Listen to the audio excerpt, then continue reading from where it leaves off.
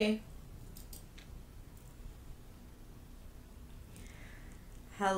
ZenMaid Mastermind. I'm so excited to be here tonight. I have Sharon Cowan with me, and hopefully you can see her. We're getting uh, her screen pulled up right now.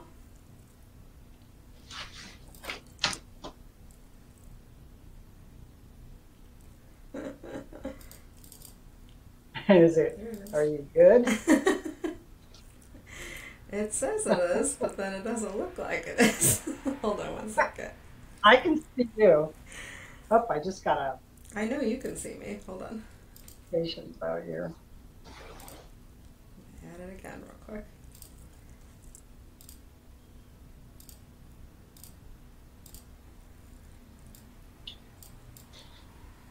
Okay. All right, so I think we are good.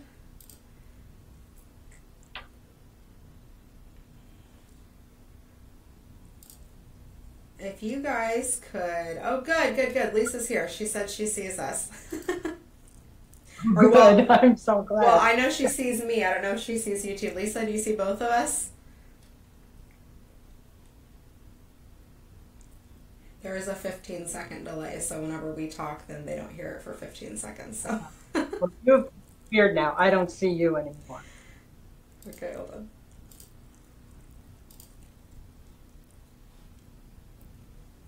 Guys, this is my first night. Oh, good. Stephanie said that they can see us both.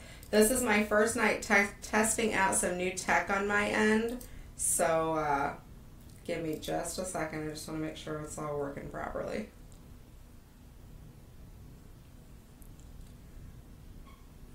All right, Sharon, can you? Are you back on? Yeah, you're back. I can see me down in the corner, but I can't see you. Okay, hold on. Okay, you should Okay, be able should to be able to- Turn that off. Okay, I think, Okay, I think, I think we're I good. think we're good. I see you now. Yep. Sounds looks good. Good. Okay, I think, Okay, I think we, we are are live live and in color, and in color, people.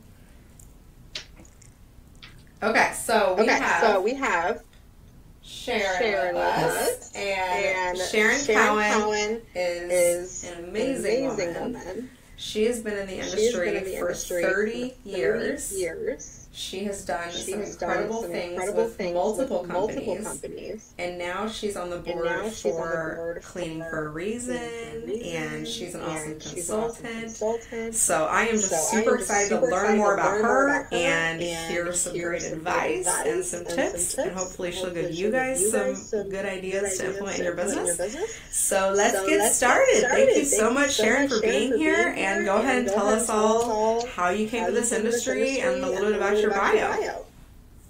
Okay, that sounds good. You were doing a lot of echoing, so I only caught like every other word because it was fading in and out and echoing. So I think you asked if I'd just give a little background. Um, I came to the industry um, many years ago.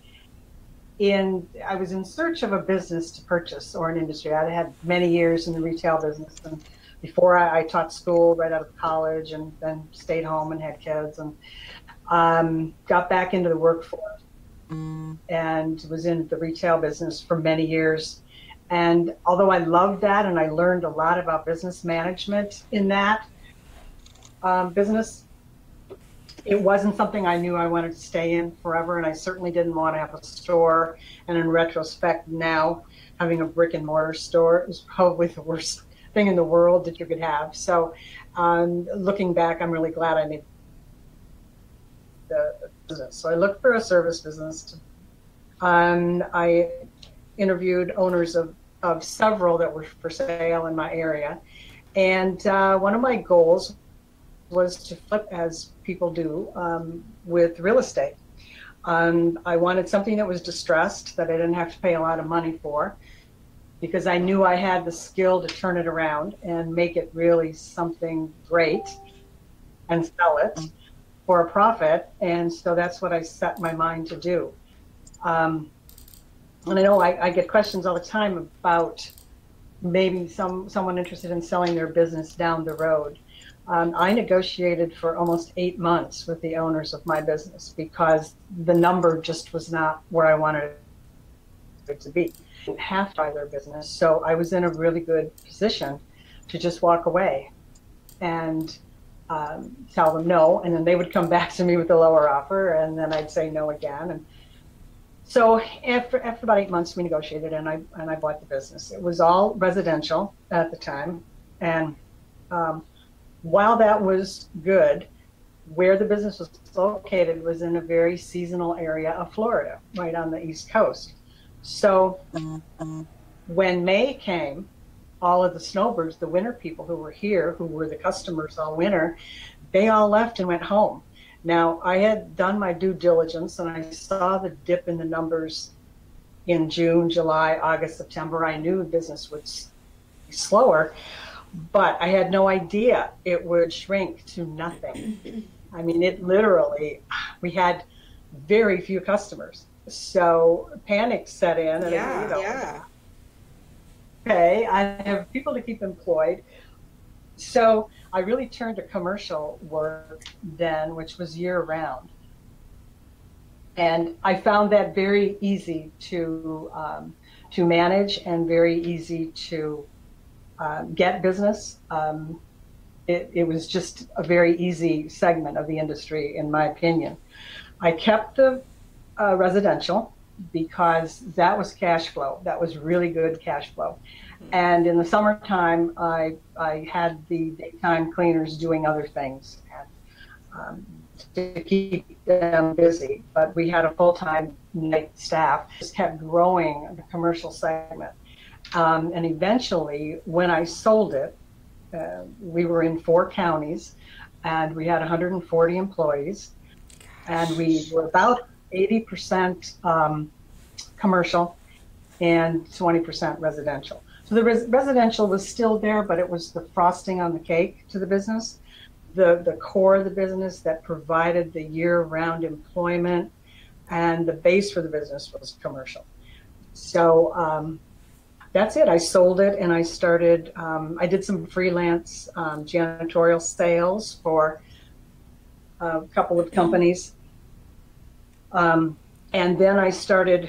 Even when I owned the business, I'd been getting requests for help from other um, maid service owners and commercial cleaning business owners. So I just expanded on that and started working the consulting um, all the time. Um, and and I love it. And I consult with both residential um, owners and commercial owners.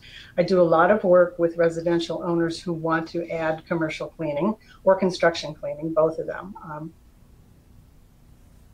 I help with and I do a lot of help with bidding and estimating. Some sometimes uh, an owner won't be a client of mine, but they'll come to me, or I get referrals from other consultants who don't have experience in the commercial um, segment of the industry, and they'll send me their clients to help with proposal or um, you know estimate. So it's been great. It's fun. I love the business. I could have left it after I sold the business. That I mean, I did a nice flip with it. I, it was worked out very well for me, thankfully. and I could have just put my heels back and sat in a rocking chair, but I really like the business. I really do. I think there's just so much opportunity, and it can be.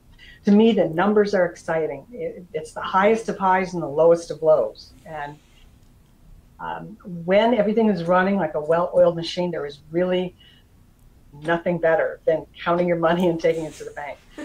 so um, I'm just going to keep on going until I, you know, fall over someday. Hopefully, go, not, girl. But, uh, you know, it, it's a good business. It's, there for the taking. So tell me, what do you think the biggest differences are in residential and commercial? Well, there are a lot of differences, and um, the approach is very different. You know, one obviously is business business. You're dealing with a business pe- a person when, um, working in the commercial sector. Um, there isn't a lot of emotion involved. You're not having to be careful of Aunt Susie's antique desk that you know you can't have a cleaner ruin. It's it's it's very different. Um, it's pretty much cut and dry. It's based on what the what the customer is asking you to do. And that's why online bidding for commercial just does not work because every job is custom. Every job is, is based on the time that it's going to take to do what that customer wants. Some customers want the moon, most don't want to pay for it. But, and then some customers just want to, you know, blow off the dust and let's, you know, move on, get in and out and give me the lowest price possible. So everything is really customized to that customer. So to do an estimate online with uh, commercial property is is you can't do it. No. You really can't. So um, and it's the relationship too. It's all about relationships, both in residential and commercial. Um, in the commercial sector, you know, people do business with people they know, like, and trust, and that's for any sector of the industry. But in the commercial side, especially, you start core with that client the moment you put set foot in their office space, and when you start walking through and asking questions and listening, listening to where their pain points are, um, you really start being able to solve their problems, and that's really what they're hiring you for. Solve their issues, just make it go away. 90% of the people who call you for a commercial estimate don't really want to be doing that. I mean, they, that's like a necessary evil. They just have to find a new janitorial company. Right. So if they can find somebody that will take that right off their plate and they never have to think about it again, they're going to select you every time. Right. So, um, you know, that's one of the differences. Pricing is, is another um, difference between the two. Um, I have found over the years that people coming from a residential training environment um, tend to over clean and clean an office like a house. and unfortunately, most of the time they don't get paid to do that. So it's it's always a danger to have daytime staff, residentially trained people cleaning an office space because they will take way too long Right. to do it. So that's a real flag, and owners need to watch for that. Plus, you burn them out if you're having them work in, in the day and at night. So whenever you go to hire for commercial, what kind of qualities do you look for versus the ones you look for for residential? Well, um, for one thing, rarely are the nighttime cleaners ever in contact with the customer. Sometimes they are. So they can't be, you know, they can't really look like they've been sleeping in the streets. You know, they have to look presentable, but they don't necessarily have much contact with the customers. The best applicants for nighttime work are people who have a daytime job and who only want a few hours, a few nights a week. You have a work history that you can um, check. Generally, they are they are wanting a part-time job for a specific reason. Maybe if it's, maybe it's a child in school, maybe it's a car payment, whatever it might be. They have a need to go there, and they want they want that money, and that this is a second job for them. Um, those I found over the years work the best. Where that doesn't work is when you're doing larger accounts. Maybe it's a high rise. It's an eight hour a night job. You know, you can't have a full someone who has a full time job come and now clean for eight hours at night. So it doesn't work in that environment. Most smaller janitorial companies are cleaning. In other words, they'll start at one building and they may clean three buildings in one evening, and they may do that three nights a week Mhm. or they make two buildings. So getting someone to work a few nights a week part time usually works really well. They have a they have a drive to, to just show up. Right. So you have mainly commercial cleaning, uh, or you had mainly commercial cleaning towards the second half of your career, probably, right? Right. Right. Yes. Yes. Oh, always kept the residential. But I, I will tell you from a personal standpoint, Mhm. A, com- a, a residential manager was the first person I hired, and I hired her within three months of my owning the business. Oh wow. because and I was fortunately I was in a position to be able to to not take a salary for the first year I had the business Mhm. because my goal was to not be working in the business. Everybody knows that saying, but work on the business. And I, there was no way I could handle that day, that morning chaos that we all know, that nonsense in the morning. I couldn't do it. And go out and get new accounts and make certain that my invoicing was done on time and make, making certain that the company was being positioned to grow. Right. So my first thought was I have to get somebody in here to deal with the homeowners, the customers, deal with the employees in the morning. Mm-hmm. So that, that was the first thing I did. That I my my commercial accounts started rolling in. They just they just started escalating and they moved we moved along pretty quickly. So, did you get a lot of commercial accounts just by um, by networking and things like that, or how did you approach you know the people That- to get them? in that, in that particular time, remember this was in the 90s, so things were very different.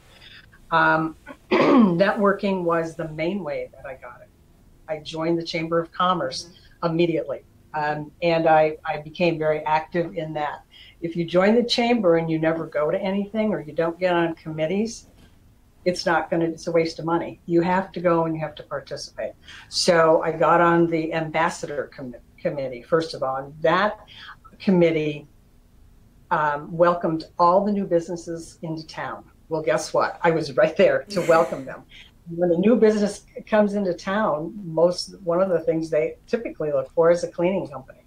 So um, that worked really well. And then I got on the economic development committee, and I positioned myself at those committee meetings right next to the banking officials and all the heavy hitters, I call them in town. I wanted them to know me and know my company. Um, then I uh, invited to be on the board of directors for the chamber, and I served in that position for two years. So by then, I was pretty well known in town, and we got all the business, all the good commercial business. Um, it was, I mean, it's just the game you have to play. You just have to do Yeah. it. You have to do it. If you sit back and wait for it to come to you, it isn't going to happen. So Yeah.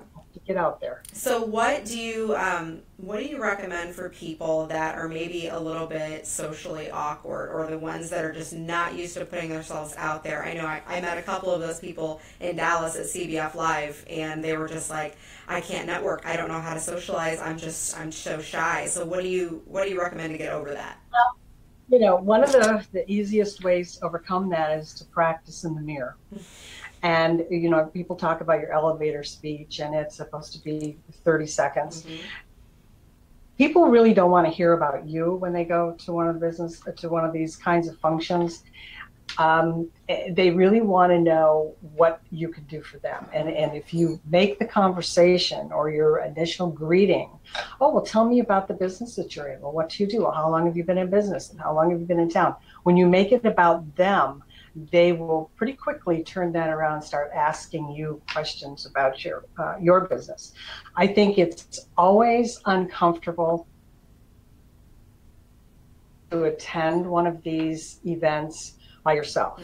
So if if you're on a committee, if you join a committee, I mean, going into a committee meeting of 10 people in the middle of an afternoon is a lot less intimidating than going to a social after hours or business after hours with a 100 people. Uh, it- You know, so it's much easier in the daytime to get your feet wet and join a committee. Now you make friends with the committee and say, "I- gee, I don't really know anybody else but this group, so I'm going to be going to that business after hours. Could I meet you outside somewhere? Could I meet you for coffee before? Um, could we meet at the door?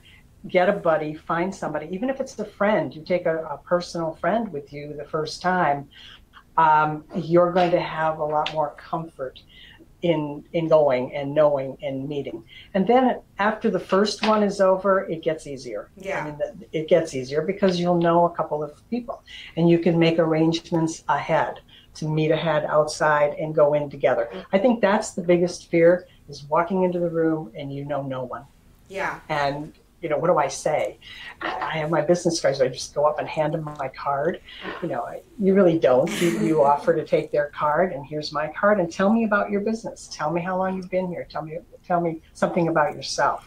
So if you put it onto them, it's a little less daunting than if you Agreed. have your elevator speech. Agreed. Yeah, in the So beginning, I was. uh, try that. But practice in the mirror, what you would say. Practice with friends or family. Yeah.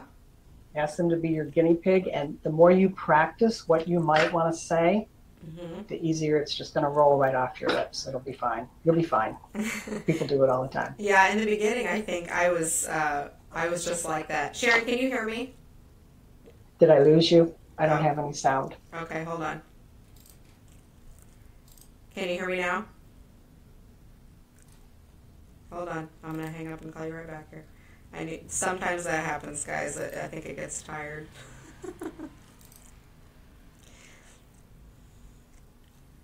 Can you hear me now? I can hear you now. All right, hold on.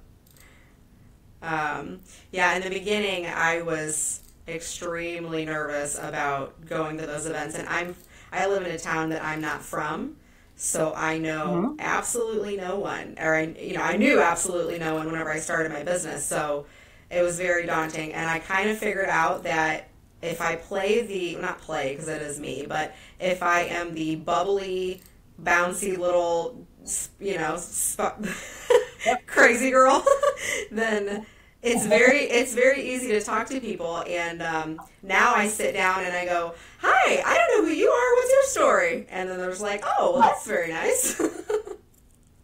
Exactly. That's, you know, once you just do it once, you know, you're fine. And, and as I said, um, you get a buddy to go with you, get someone to go with you as a guest or, um, and if you're new to the chamber, um, they always will, they'll try to find you someone to go with. Just say, look, I'm, you know, I'd really like to go with somebody the first time I go to something.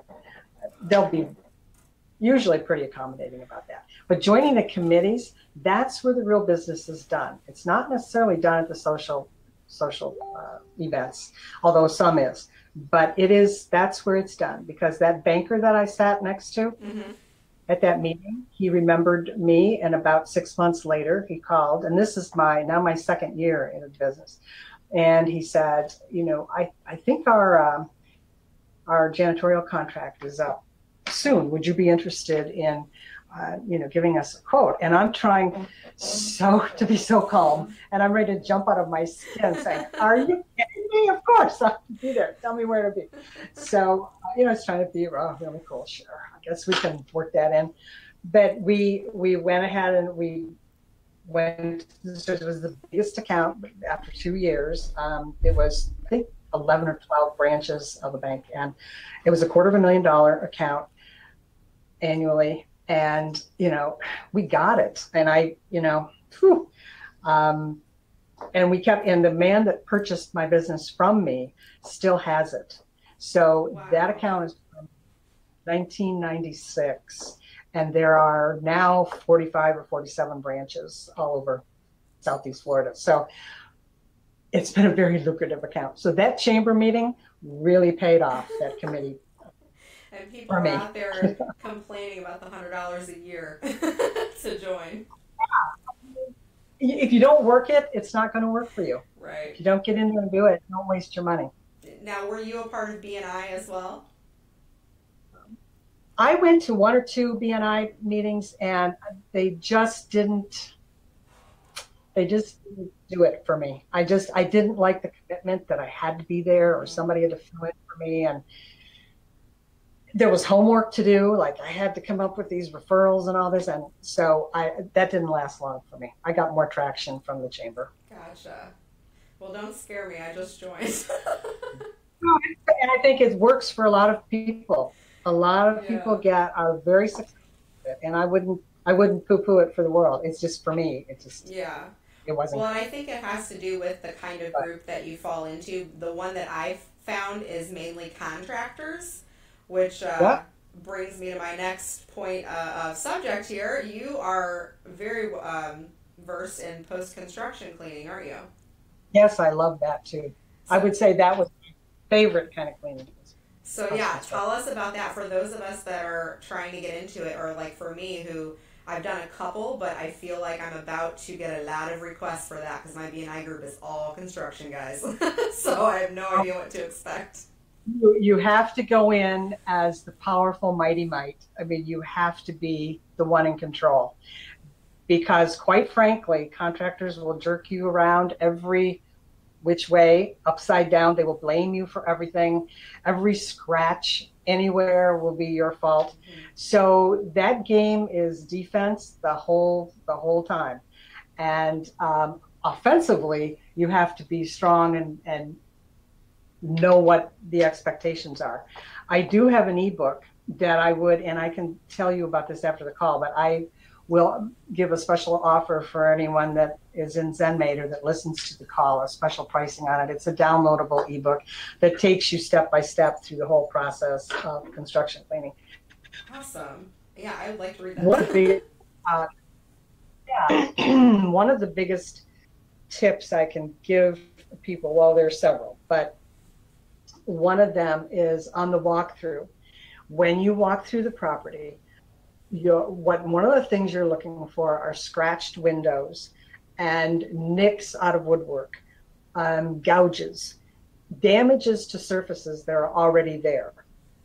At that point, when you see those, it's important to, to, to take a picture of them with your camera, with your phone. Sorry, I take a picture and even point it out to the superintendent if the or the project manager. Mm-hmm. If that project manager is walking with you, then you'll want to say, I see the scratches here. I see the gouge here. I see this here. And but take a picture so that you've got a, a time and date stamp mm-hmm. on it, so everyone, right, so he knows, uh, she knows. The other thing is often the, the contractors will always want you in way too early most of the time they're behind schedule. Mm-hmm. So the owner of that building or home, whatever it is, is really putting the pressure on. Let's get this done. Let's get this done. When they see the cleaning people on the property, they know they're close. So contract the, the job super generally will bring you in way before he's ready for you. And that's really to take some pressure off of him because mm-hmm. now we're going to get this done my uh, advice is when they tell you um, we're going to start at Monday, we're ready for you Monday. On Friday or the day before you're supposed to start it, to visit the property and look for yourself. Don't just assume they're going to have everybody out of there because they're not. Mm-hmm. You might be able to work around one electrician or one plumber, but you can't work around 12 other people, other tradespeople in there doing things. So when you get there on a Monday and you're supposed to start Tuesday, and there's 15 people still working in there and there's still wet paint, that's when you say to the superintendent, you know, you're really not ready for me. And uh, it's going to save you a lot of money if we only have to come out here once and do it. Mm-hmm. But if I have to come back every time I come back, there's an upcharge for that. Your price was based on one time here, or if you've set it up so you're doing a rough and a final. It's based on two visits. Mm-hmm. Every time I have to come back another time, it's more money for you. So let's do us both a favor and save both of us money. I'll come back in two days. Let me see where you are. And if you're ready for me, then I'll come back the third day. But you have to take control of it. You mm-hmm. can't let them say to you, I have to hear have you here Tuesday. You have to be one to decide if they are ready and if they insist, then say, that's great, but there's going to be an extra charge for me to come because I'm going to have to come back to clean up after these guys. So you want to make all of those things clear up front um, about your trips there. Also, whenever you're going back, when you've cleaned an area, you should have a checkoff sheet, and there's a sample in my ebook, a checklist that the superintendent signs off on. Mm-hmm. Okay, that room's done. Master bedroom's done. This is done. This is done. This is done.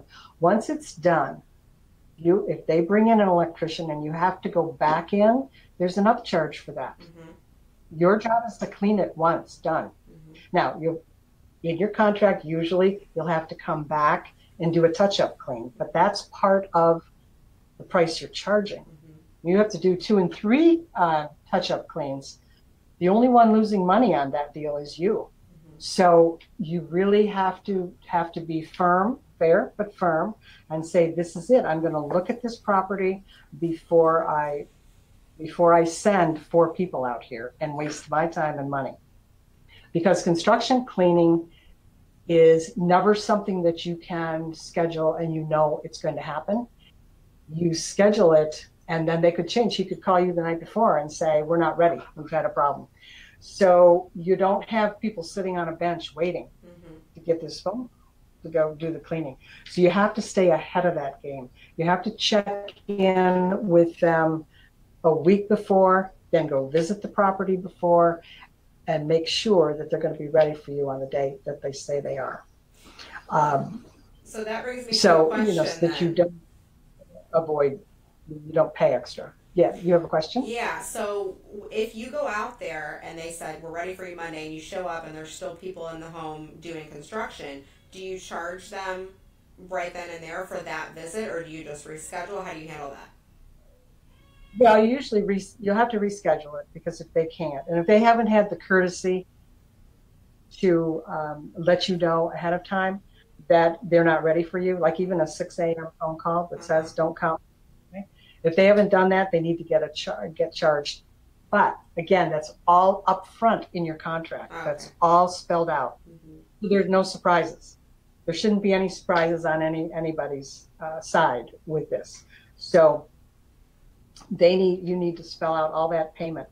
Another thing you really want to be careful of is um, the the payment process. Sometimes contractors will say, "We'll pay your invoice as soon as we get paid from our customer." Mm-hmm. That's a no. That's absolute no go. You don't even go there. You're not doing that. It's not your problem, truthfully, when they get. paid. You just know what schedule you're on.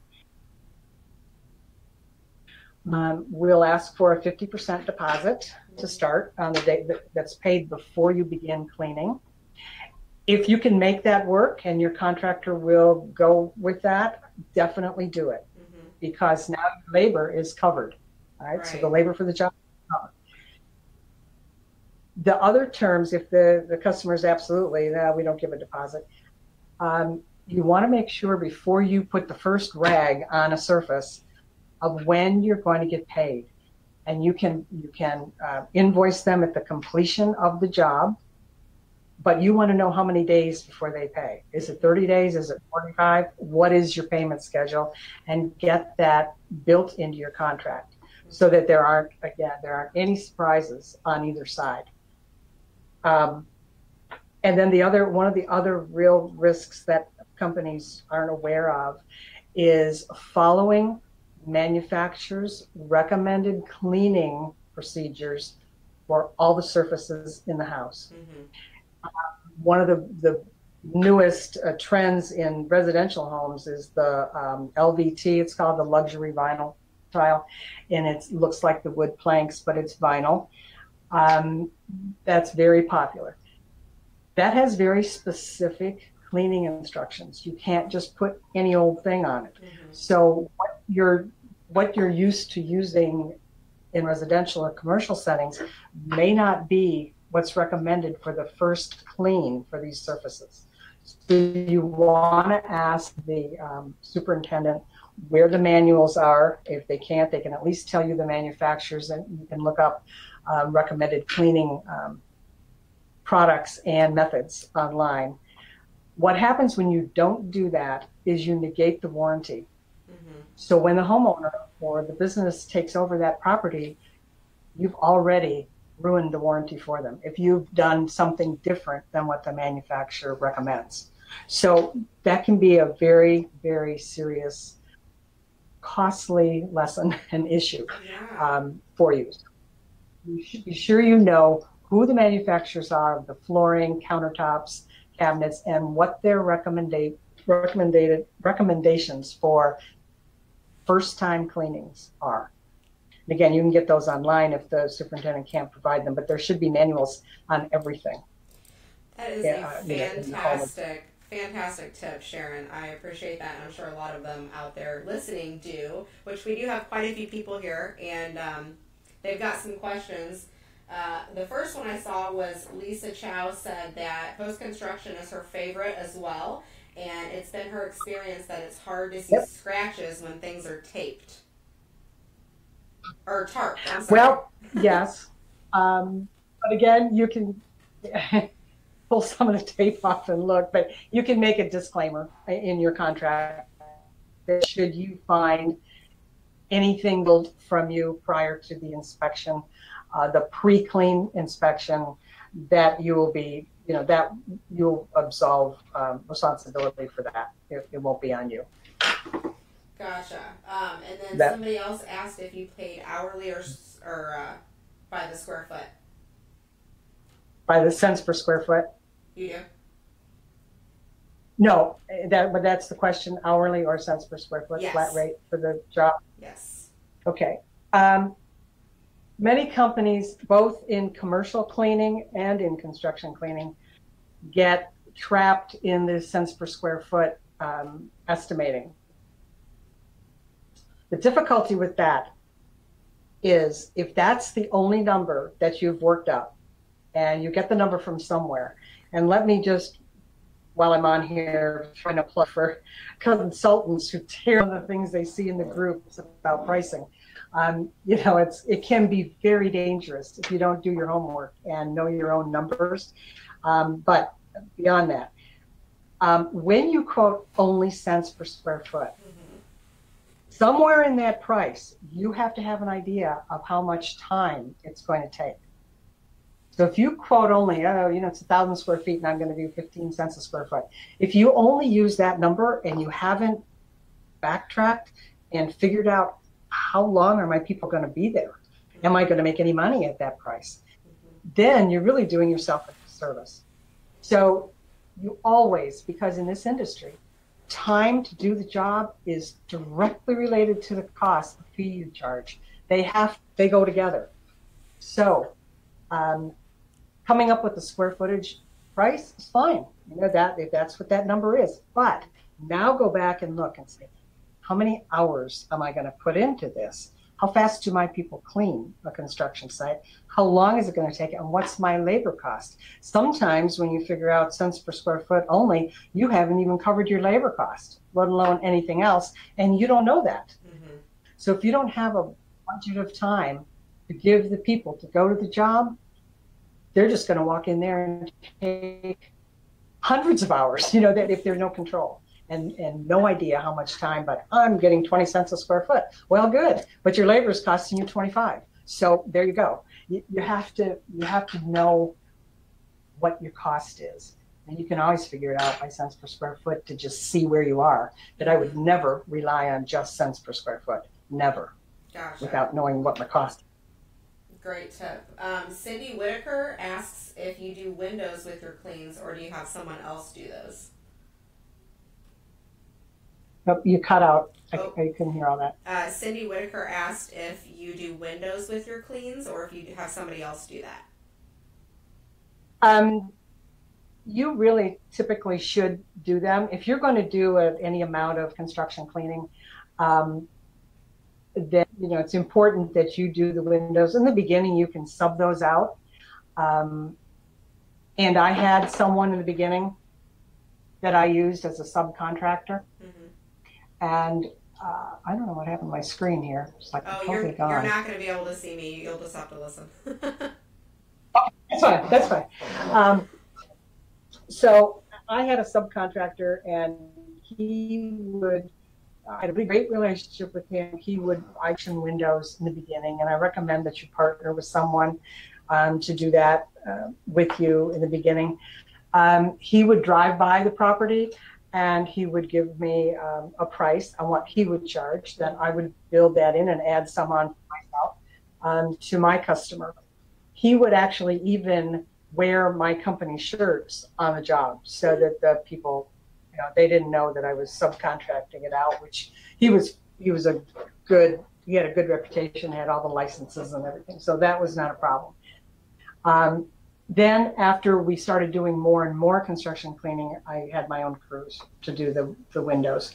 Um, the really high ones we only we would go up to the second story but anything above second story i called my contractor guy because he had a bucket truck and he could he could get up there and, and get them all. But subbing it out in the beginning is really the way to go because they're faster they know what they're doing. Then after a while he gave me a flat rate he said five dollars a side or five dollars both sides on windows of such and such size he gave me a size breakdown so i um, Yeah, that's awesome. I'm assuming that you probably met him at your Chamber of Commerce uh, meetings.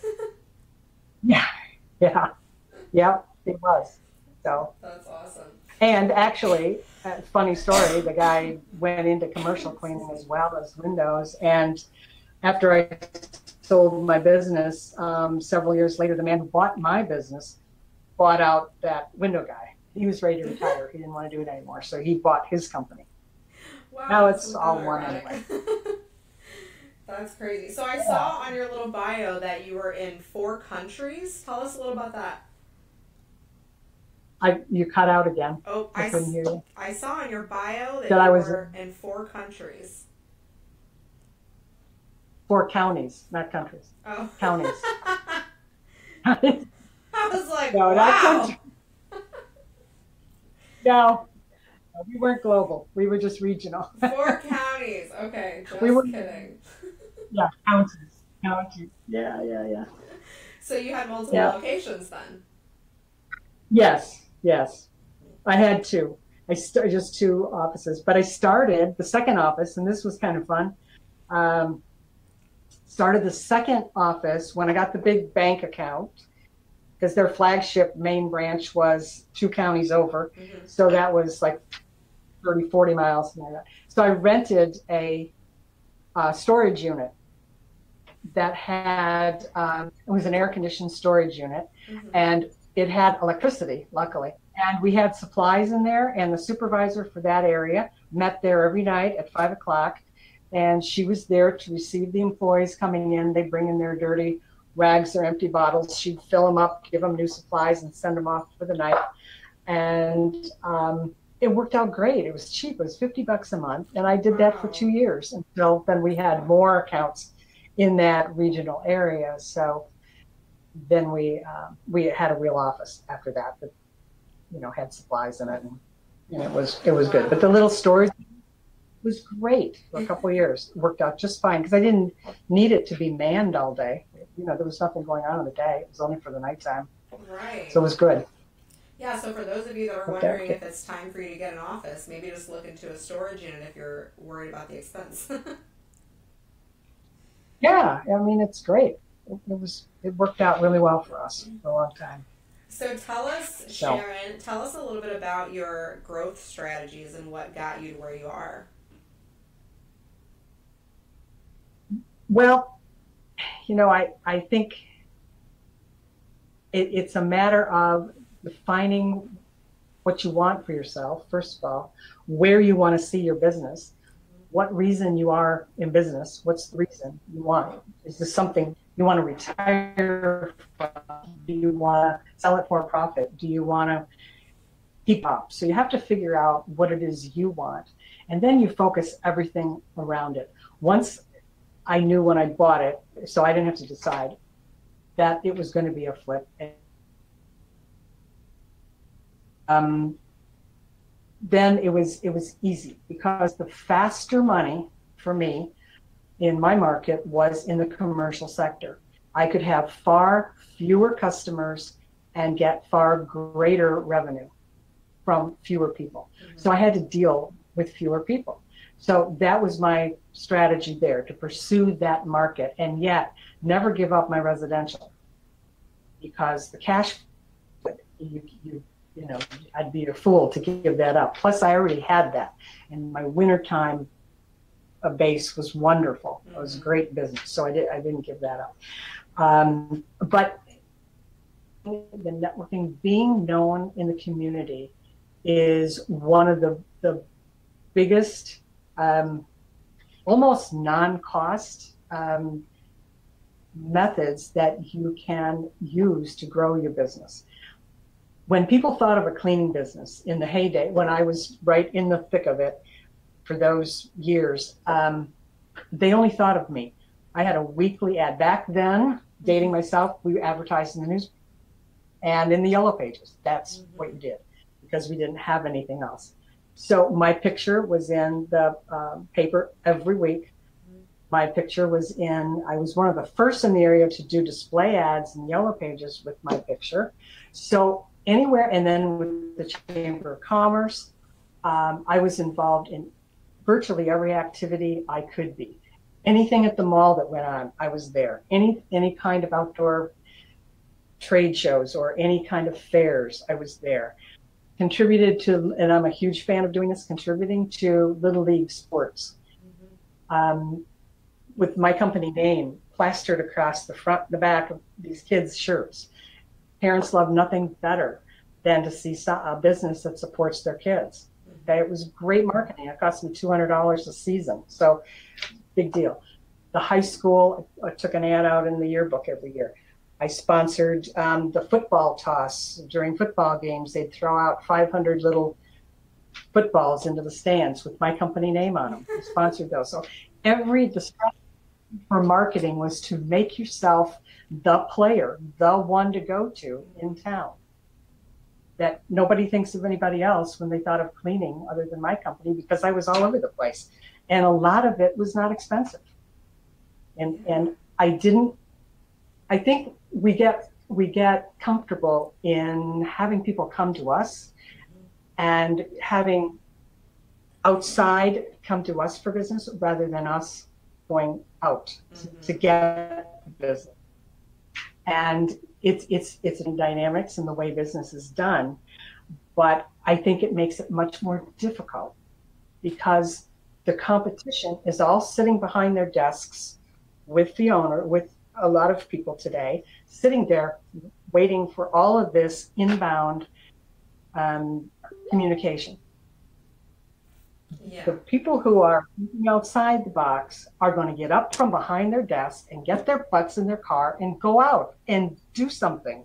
Just go out, be seen, uh, have meetings with people, drop in if you have commercial accounts for the owner to drop in from time to time is priceless. I mean that that is that take gets you farther above miss waste baskets and no toilet paper on the toilet in the bathrooms. That takes that'll take care of that. That I mean, people will, will be much more forgiving when they know you. Yeah. But we don't do that today. You know, we don't do that today. And so many times I see on on some of the groups, and and I, you know, I, I have to say I don't I don't um, comment on the groups a lot because you know I have a lot of clients who are in the groups, and truthfully, it's not fair for them to, and me to work with them on a custom basis, and then to give away the same thing I would be telling them mm-hmm. uh, on these groups. So so I, I don't I don't do a lot of it once in a while, but. Mm-hmm. Uh, I think that you know I see so many times people say, well, you know, this customer complained, and especially a commercial customer, maybe not so much a residential unless it's really serious, like something's been stolen or broken. And I see them say, well, I'm going to send them an email or I'm going to text them and and tell them we're really sorry or we'll, we'll get it next time. Mm-hmm. And I I just shake my head and I say, get up out of your chair and go visit this customer, you know, and and Granted, you can't do that all the time. You can't. And if it's a tiny customer and it's, you know, if it's a, a decent sized customer and you want to get more business from them, mm-hmm. you owe it to the customer to go see them. Go see what the, or send a supervisor. Send a live human being that's going to make face to face contact and say, I know you're upset. I'm really sorry. We're here to take care of it. I want to take a look at it. I'm here. Um, we just we just don't do that enough, and people's people are letting digital communication get in the way of building relationships with customers. Right. And it, at the end of the day, it's all going to come back to relationships. You're right. And I think it'll go full circle. I think there's probably a lot of owners out there that maybe are getting bigger and they don't have the time to go do, you know, these in home or these in business and office personal things, but they also don't even think about maybe they should train their office manager to do that then. You know, and it just stops. Somebody should. It just stops. Or take a look at how they're spending their time all day. Mm-hmm. And that a priority. And how, where, what can I give up that's menial, uh, that's a menial task that someone else can do, mm-hmm. that I can do the important things like coming face to face with an important client mm-hmm. or a customer. Um, and it's not going to be every day, and you're not going to be able to do it with all the customers. Um, one of the things that we do in commercial cleaning is doing at least monthly audits and inspections. Mhm. And when you do those, it's important that even if your customer says you just go on and you know walk by yourself, I, I don't need you to. I always insisted, and I always did it, that I went by that person's office, and if I did nothing more, then wave at them from the door. They knew I was there. Mhm. They saw it wasn't a text, it wasn't an email, it was me coming to look at their property Mhm. or my supervisors when I got those. I mean, that really goes a long way in in making your business grow. And I guess that would be my over overriding strategy is to not let um, not take away totally the personal interaction because this is a this is a people business. This is a personal business, especially the residential, more so than the commercial Right. because you're you're in people's homes. You're in their personal stuff. You know, you're they need to know somebody cares, and it and it's not always digitally. You know, it, it, sometimes it's a face. You just see the person. So That's my soapbox. Absolutely right, Sharon. I think that unfortunately that's fading as the years go by, but hopefully we'll have a resurgence. and and and it doesn't need to be a hundred percent resurgence like it used to be. Right. It needs to be so often. It needs to be selective. Mhm. um, you know, if, if like in construction cleaning, if you're cleaning um, one time, your first time in, and it's a subdivision, and it's going to be a two-year build out because it's they're doing 300 homes, Mhm. I'd have my butt there. Yeah. I, you better believe it. The they were there, and I'd have it there the second day. I'd be there the whole time, Mhm. not necessarily cleaning, but checking in, Mhm. letting the superintendent see me. Mhm. and and no that's one so one time small little something you're going to do then no you, that's i mean you have to weigh it out carefully because you can't be everywhere Right. so we choose the ones but it is okay to get out behind your computer screen and go see people that's okay Yeah. and i, just feel we're, we too often just dismiss that as something you can't do when you really can Amen. So tell us a little bit about how you came to the board of cleaning for a reason and what you do with them. Um, well, right now, um, the board is dissolved. The, the original board, um, the, since ISSA took over, um, the board is not active because it's part of our ISSA. Um, Debbie and I, Debbie Sardone and I were friends way a long time ago when we both first started out in the business. In fact, she cleaned my sister, who lives in Dallas, she cleaned my sister's house. Oh wow. And I know that's going back a long time. And um, Debbie, I don't, Debbie wasn't the one cleaning, but she sent her people and stopped by my sister because my sister was a new client, met my sister and said, and my sister said, Oh, my sister just bought a cleaning business in Florida. I should get you two together. So the next time I visited my sister, she had Debbie over and we had lunch and met, and we just became friends. And that was back before email. So we did phone calling. You know, we actually talked on the phone to each other. Wow. And- And so she, when she started the foundation, she or the charity, she asked me to if I would be on the board, and so I was. And I was on it the whole time until ISSA uh, bought it, and it's or not bought it, took it under their wing. I and, uh, so that story. I didn't know that. I, I go back a long time. That's We did a couple of workshops together in 2009. Actually, we did um, workshops together. Awesome. I think everybody knows her mother just recently Yes. passed away. We're all very sad about that. That was a she was a wonderful lady. Yeah, I got to meet her in Dallas, and she was a spitfire, man. She, she was yeah, really a cool lady. Yeah. No. Sad. So, um, so tell us a little bit about what you offer in your program. Okay, um, I I offer um, more customized coaching than many of the other consultants. I don't have um, canned programs, so to speak, where you buy it and these are the steps, and you take one and you do this, and then you do this, and then you do this. You know, is 99% customized to my um, my clients.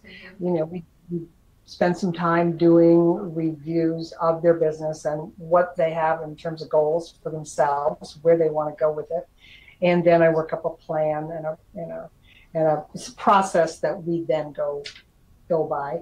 I work with a lot of uh, several of my clients have me working with their office manager or their general manager Mm-hmm. um, for management skills training. A lot of them don't have that. They typically came from the field Mhm. and and do really well with cleaning and running the staff, but as far as management skills, they're sometimes lacking. So we work on that delegation, teaching people how to delegate, time management, um, those kinds of things. So you know, my my uh, my expertise is in turning around businesses that are troubled and in helping businesses develop additional sources of revenue, um, and diversification of the business by adding a commercial account or taking on construction. Of um, one-time um, bid propo- proposals with people who are re- residential people that want to get into jobs. I sometimes talk them off the ledge too when they, they have four employees and they want to take on a 300,000 square foot college campus because somebody, would you like to bid on this? And so then they call me and we, we walk them slowly back and say, no, no, not going to do it. So, um, Just not so that, that's, yeah, yeah. So, Well, that is fantastic. And how can people get a hold of you, or do you have a website that has your information on it? the yeah cleaning business consulting group.com it's a long name and i know i have a lot of people in the business who like my personal facebook page Mhm. uh, sharon l. Cowan, and that's fine. I, that's perfectly fine. But i do have a business page. It's cleaning business consulting group and then it's if you just type that in it'll take you to me. And you know there are a lot of tips um, on that a lot of general management some leadership um, tips and things um, that are applicable to any any business, but primarily anybody in the service um, industry. I I did a series for a while. And I stopped, and I really need to get back at it. Called Fix It Friday video series that would come out every Friday, and it was a short video, and I would present a problem that I had been asked about during the week, and then what the solution might be. So I'll be doing those again uh, really soon. They're just short, you know, one and a half minutes or so of, of the, the Yeah. problem. So they were really good. And I'm putting together some online learning um, now, some courses um, for general management and leadership, some time management. Again, I'm big on that. And um, uh, financials. Um, you know, financial intelligence is thing that gets people in trouble generally in business, but not knowing the numbers, not knowing what the numbers should look like or how to how to fix them when there's a red flag. What is a red flag? They don't- don't even know. So, you know, I do a lot of help with that. But I'll have some online courses um, addressing that specifically for the cleaning industry coming up. Awesome. So, are you going to be a YouTube celebrity too? Oh, sure. I already am.